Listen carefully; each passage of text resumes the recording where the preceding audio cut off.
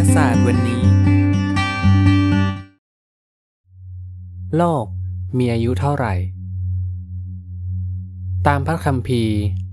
อาดัมถูกสร้างขึ้นมาในวันที่ 6 จากวันที่โลกถูกสร้างขึ้น ดังนั้นเราจึงสามารถกำหนดอายุของโลกอย่างคร่าวๆ โดยดูจากการลำดับวันเดือนปีของมนุษย์ตามพระคัมภีร์ได้ แน่นอนในการทำเช่นนี้ เราต้องถือว่ารายละเอียดในหนังสือปฐมกาลถูกต้อง เช่น 6 วันในการทรงสร้างคือ 6 วันที่มี 24 ชั่วโมงใน 1 วัน และไม่มีช่องว่างอะไรที่น่าสงสัยในการลำดับวันเดือนปี หนังสือปฐมกาลบทที่ 5 และ 11 ลำดับพงพันธ์ของมนุษย์ โดยเริ่มตั้งแต่อายุของอาดัมลงมาเรื่อยๆ จากลูกหลานของเขาชั่วอายุหนึ่ง มาจนถึงอีกชั่วอายุหนึ่ง จนถึงอับราฮัม เมื่อเรารู้ว่าอับราฮัมอยู่ตรงชั่วอายุไหน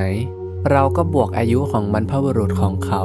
ที่หนังสือปฐมกาลบทที่ 5 และ 11 ได้บอกเอาไว้เข้าไป เราก็จะเห็นว่า พระคัมภีร์บอกว่า โลกมีอายุประมาณ 6,000 ปี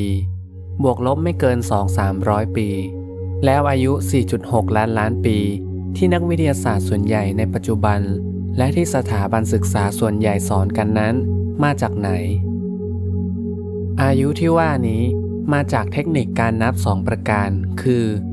การวัดโดยขึ้นรังสี และทางธรณีวิทยา นักวิทยาศาสตร์ที่สนับสนุนโลกอายุน้อยคือประมาณ 6,000 ปี ยืนยันว่า การวัดด้วยคลื่นมีข้อผิดพลาด ในแง่ที่ว่า มันมีพื้นฐานที่มาจากสมมติฐานที่ผิดมาเป็นชุดๆ ส่วนการนับทางธรณีวิทยา มีความผิดพลาดในแง่ที่ว่า มันใช้เหตุผลวนเวียน นอกจากนั้น พวกเขายังบอกว่า ความเชื่อที่มีมาตั้งแต่สมัยโบราณ เกี่ยวกับการลำดับชั้นของหิน การทำให้ซากสัตว์และต้นไม้กลายเป็นหิน และการฟอร์มตัวของเพชรถ่านหิน น้ำมัน หินงอก หินย้อย เป็นต้น ว่าต้องใช้เวลานานนั้น เป็นการเข้าใจผิด ท้ายที่สุด ผู้ที่เชื่อในโลกอายุน้อย ได้แสดงหลักฐานให้เห็นว่า โลกยังมีอายุน้อยอยู่ แทนหลักฐานที่บ่งชี้ว่า โลกมีอายุมากแล้ว นักวิทยาศาสตร์ที่เชื่อว่า โลกอายุน้อย ยอมรับว่า พวกเขาเป็นคนส่วนน้อย แต่ยืนยันว่าการพิสูจน์ของพวกเขานั้น จะได้รับการยอมรับมากขึ้น เนื่องจากมีนักวิทยาศาสตร์มากขึ้น พิจารณาหลักฐานใหม่ และพิจารณาแนวความคิดที่ว่า โลกมีอายุมากกว่า 6,000 ปี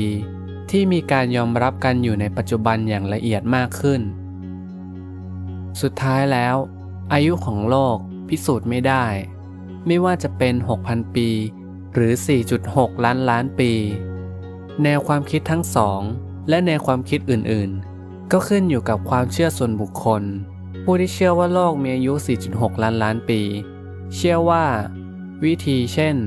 การวัดด้วยคลื่นรังสีเป็นวิธีที่เชื่อถือได้ และไม่มีอะไรเกิดขึ้นในประวัติศาสตร์ ที่อาจขัดจังหวะการผุพัง ตามปกติของแร่ธาตุที่ถูกเปลี่ยนไป โดยกัมมันตรังสี ผู้ที่เชื่อว่าโลกมีอายุ 6,000 ปี เชื่อว่าพระคัมภีร์ถูกต้องแล้ว และปัจจัยอื่นๆ เช่น น้ำท่วมโลก หรือการที่พระเจ้าทรงสร้างจักรวาลในสภาพที่เกิดขึ้น โดยมีอายุมากแล้ว ยังไงในที่สุดแล้ว ก็ขึ้นอยู่กับวิจารณญาณในตัวบุคคล ว่าจะเชื่อทฤษฎีไหน